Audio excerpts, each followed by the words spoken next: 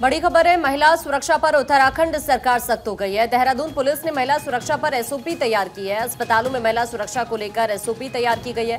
अस्पतालों में अतिरिक्त पुलिस बल तैनात होंगे, ये फैसला उत्तराखंड के अंदर लिया जा रहा है सरकार की तरफ़ से। जिस तरह से अभी हमने पश्चिम बंगाल की घटना देखी और उसके बाद डॉक्टर्स इस वक्त सड़कों पर है, वो महिलाओं की सेफ्टी की ही मांग कर रहे हैं।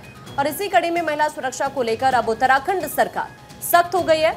और देहरादून पुलिस ने उत्तराखंड सरकार के निर्देश को देखते हुए एक एसओपी यहाँ पर तैयार की है अस्पतालों में महिला सुरक्षा को लेकर।